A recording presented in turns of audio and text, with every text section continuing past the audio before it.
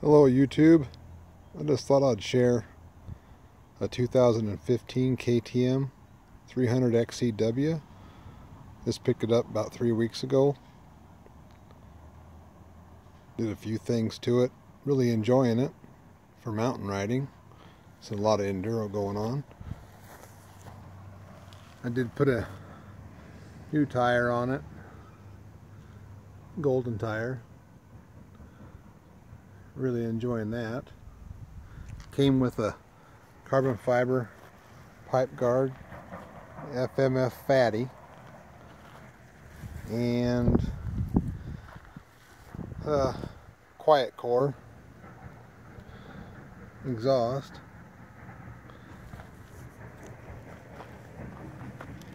Running the Maxxis on the back. Oh, not turning out. Can't see it very well here. Desert IT. Seems to be working real good.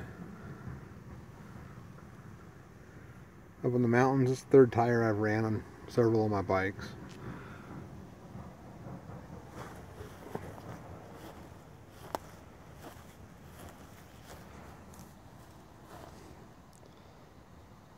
Thought I'd share it with everybody. See what you think. Bought it, had 39 hours on it. Now it's uh, about four more hours on it, I guess. Been hitting some nice trails in the Bighorn Mountains.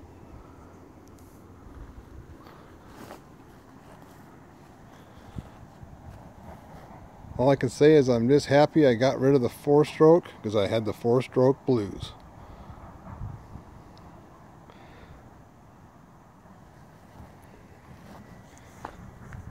Just have these on here. We're tying it down in the truck. Some soft straps.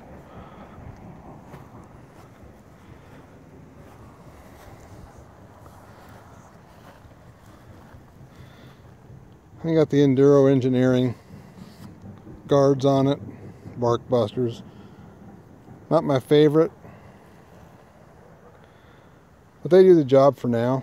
Probably make a few mods on it, the bike, throughout the winter coming up real soon.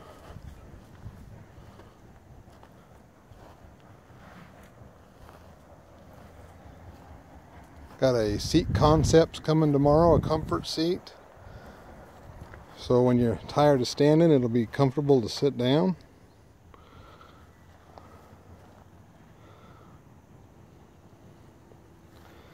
Anyway, it turned out to be a real clean bike. Real nice owner.